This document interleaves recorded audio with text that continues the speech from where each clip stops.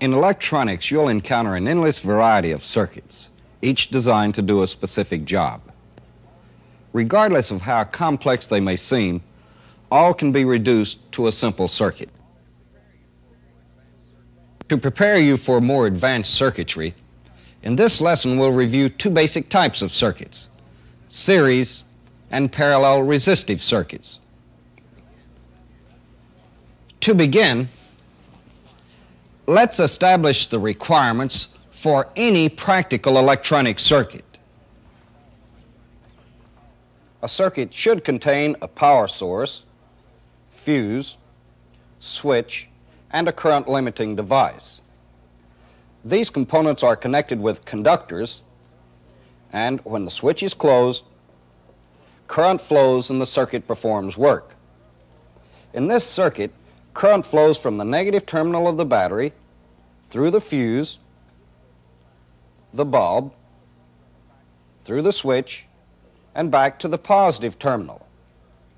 There's only one path for current, so this circuit is a series circuit. If another bulb is added out here, we create an additional current path and change from a series circuit to a parallel circuit current now divides at this point, some going through this bulb and some through this bulb. Remember then, a series circuit has only one path for current, a parallel circuit has more than one path. With this in mind, let's change out circuits and look at the other characteristics. And we'll start with a series circuit. Let me make the power connections and close the switch.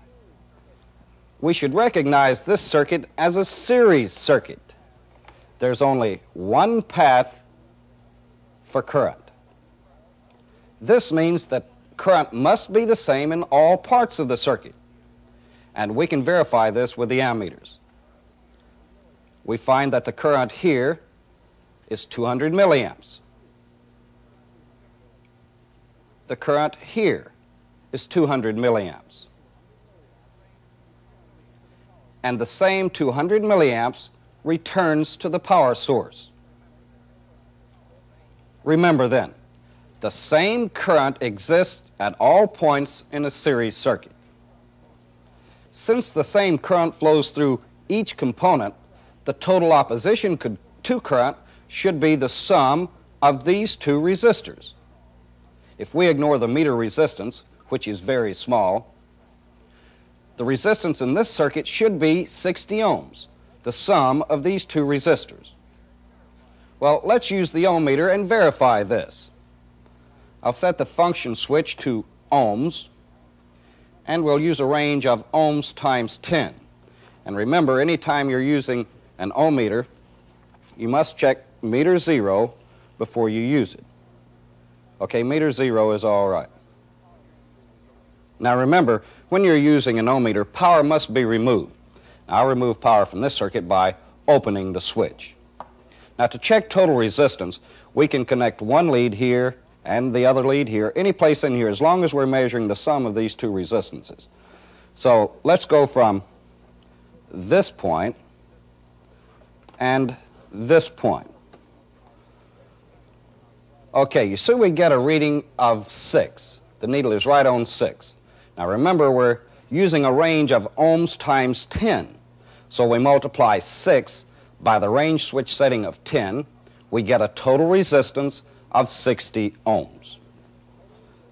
Okay, remember then, the total resistance of a series circuit is equal to the sum of the individual resistances.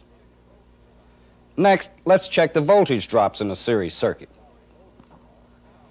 According to Kirchhoff's voltage law, the applied voltage will be dropped around each closed loop. In this circuit, this means that the applied voltage will be divided among these two resistors. And the sum of these voltage drops will equal the applied voltage. Let's use the PSM6 and check this out. We'll set the PSM6 to the DCV function, and we'll use a range of 50 We'll use 50 since the applied voltage is 12 volts, so we're being safe. Now remember, we must observe polarity. So I'll place the negative lead here next to the negative terminal of the power source and the positive lead here. You see we get a deflection, but it's small. It's very difficult to read on the 50 volt range. However, it is less than 10 volts, so it's safe for us to decrease the range to 10. Okay, you see that we get a much more accurate reading. Now, on the 10 volt range, we use the bottom numbers of the DC scale. You see that we get a reading of, well, it's about 4.3 volts. 4.3 volts across this resistor. Okay, let's go down and measure the voltage here. Okay, here we get about 8 point, let's call it 8.2, the bottom numbers on the DC scale. Okay, we have 4.3 volts here and about 8.2 volts here. If we add these two voltage drops, their sum is equal to about 12.5 volts or somewhere near the applied voltage. And of course, this satisfies Kirchhoff's voltage law. Okay? There's one other thing to consider about a series circuit. This is the power dissipated by the components. You should remember that when current flows through a resistance, power is dissipated. As these formulas indicate, the amount of power dissipated is directly proportional to current and directly proportional to voltage. Any of these formulas can be used to find the power dissipated by a resistor in a series circuit. The total power dissipated in a series circuit can be found by adding the power dissipated by each component. Here are some important points to remember about a series circuit. There's only one path for current. Total resistance is equal to the sum of the individual resistances. The applied voltage is equal to the sum of the individual voltage drops. And total power dissipated is equal to the sum of the power dissipated by each component. Next, let's go over the characteristics of a parallel circuit. Now, we've changed out trainers so that we've added a parallel circuit here. Let me close the switch. First, we should notice that this is a parallel circuit because the components are connected in such a manner that there's more than one path for current. Total current will flow from the battery, and it'll divide at this point.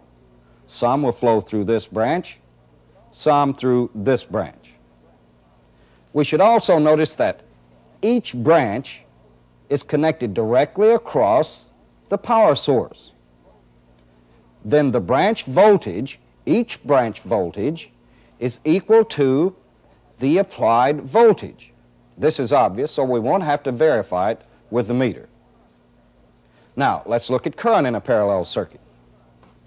Since total current divides at this point, divides among these branches, it should be obvious that if we add the branch currents, we'd have total current. Let's check the ammeters to see if this is the case. Here's total current leaving the battery.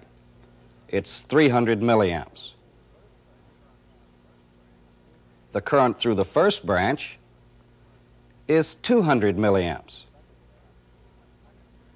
The current through the second branch is 100 milliamps. And here we see that 300 milliamps returns to the power source. We have 200 here, 100 here. Their sum is 300, the total current.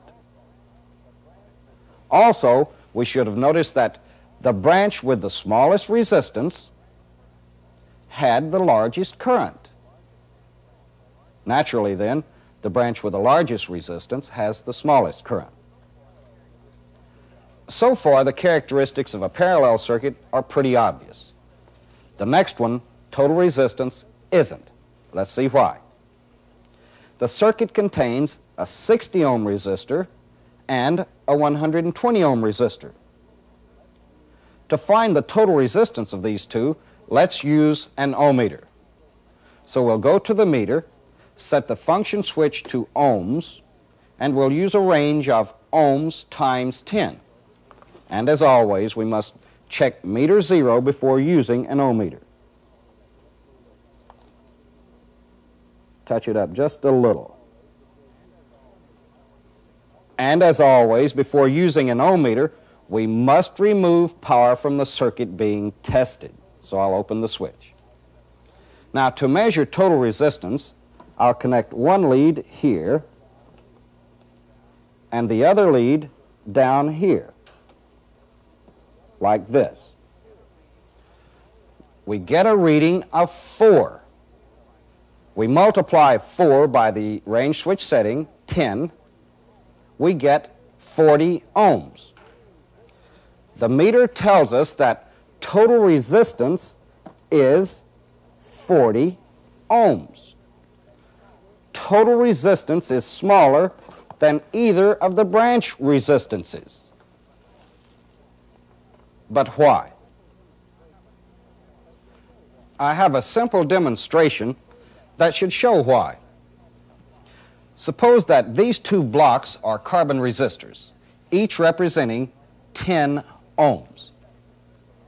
Well, when we studied resistors, we learned that the resistance of a material is directly proportional to length.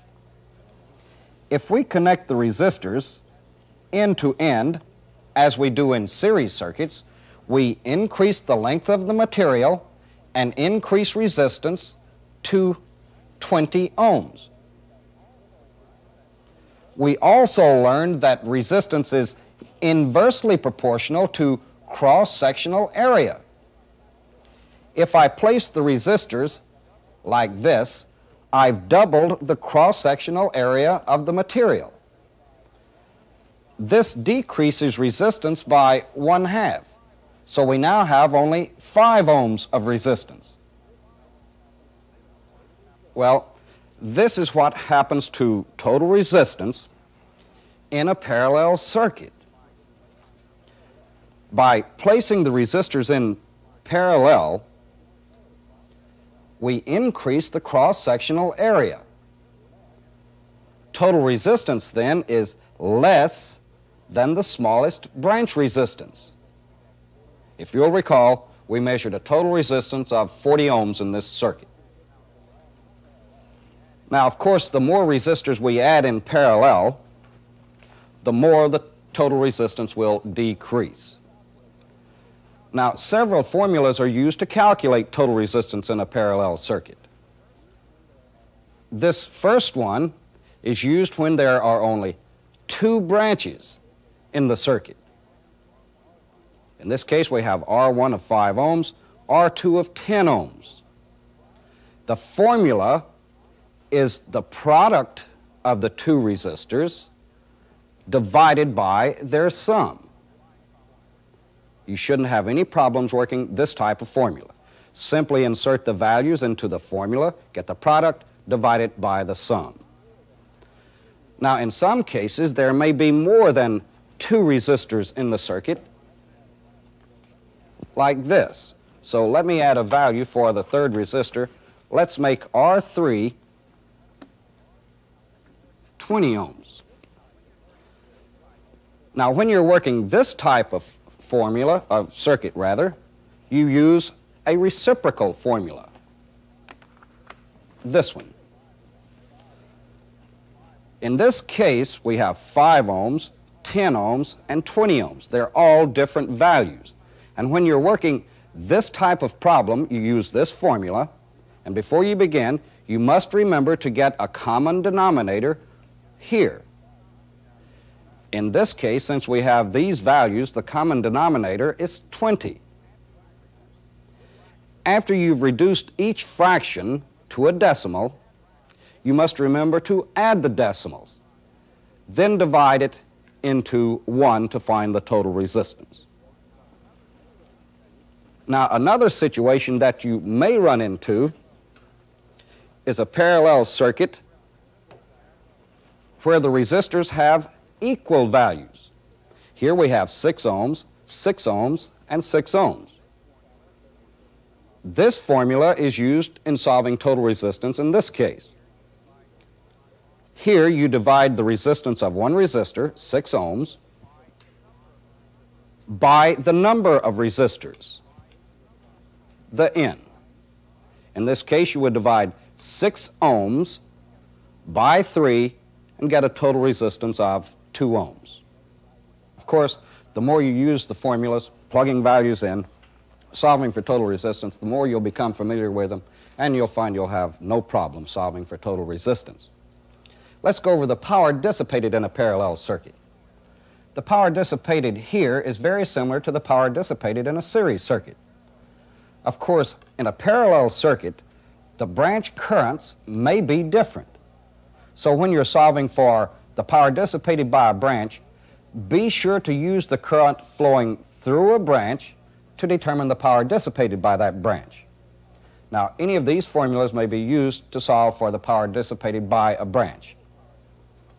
The total power dissipated by a parallel circuit is equal to the sum of the power dissipated by each branch. Let's go over some important points to remember about a parallel circuit. The applied voltage appears across each branch. There's more than one path for current. Total resistance is always less than the smallest branch resistance, and the total power dissipated is equal to the sum of the power dissipated by each branch. If we compare series and parallel circuits, we come up with a couple of interesting facts.